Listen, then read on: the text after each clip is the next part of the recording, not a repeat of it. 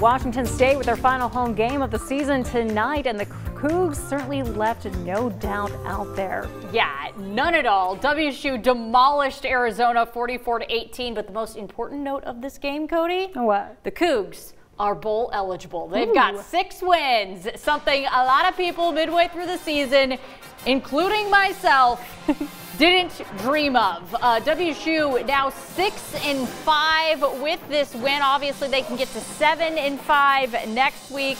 This team has been through so much this year, including looting, losing their head coach midway through with Nick Rolovich.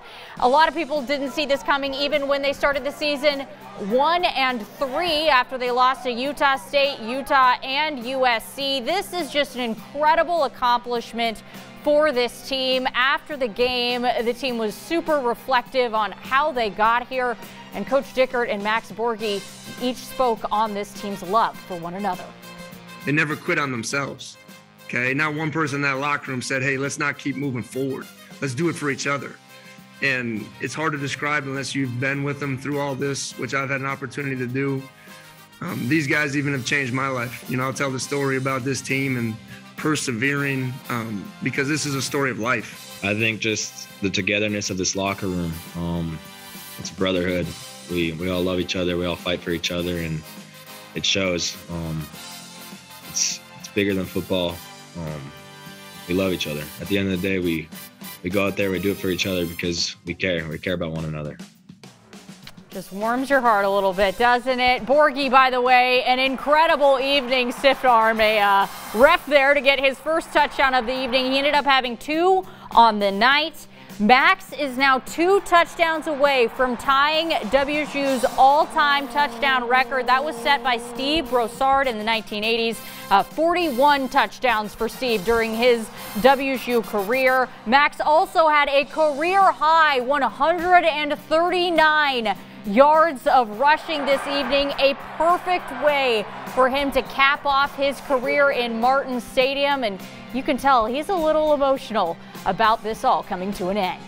It hasn't really soaked in that that was my last game in Martin Stadium, to be honest. And man, just looking back at all the different games I've played here and all the different memories and the great teammates I've had and coaches I've had and staff, athletic trainers, nutritionists. It's been one heck of a ride, and I'm just super grateful for everything.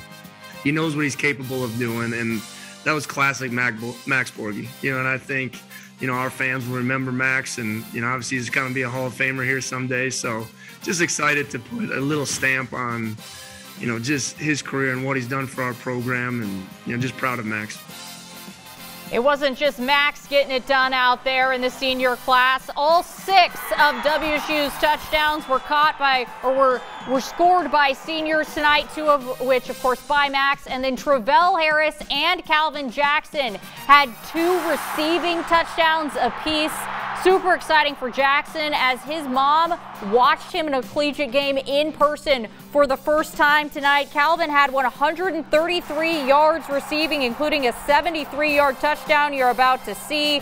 And Travell had 95 yards receiving. Like I said, they both had two touchdowns. Just an incredible way to cap off these two's careers, especially after the seasons they have both had.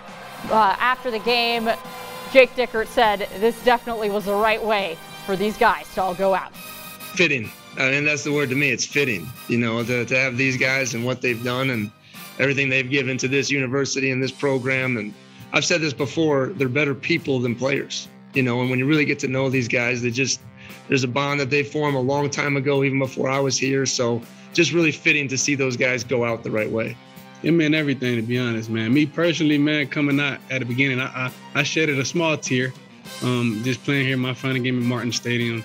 But coming out here and putting on the show for the fans and for the alumni, like we did, man, it's an awesome feeling.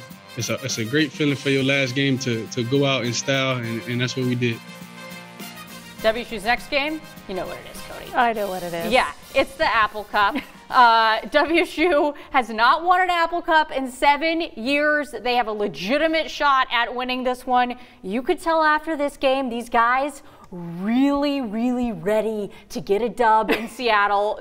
by the way, WSU hasn't gotten a win in Seattle since mm. 2007. Talked to a few, a few of the guys about it, and uh, yeah, Uh, Jahad Woods said he is very motivated to get a win next week, not only for this team, but all the other teams that haven't gotten it. And uh, Travell said he is he's definitely ready for that game. 5 o'clock Friday on FS1.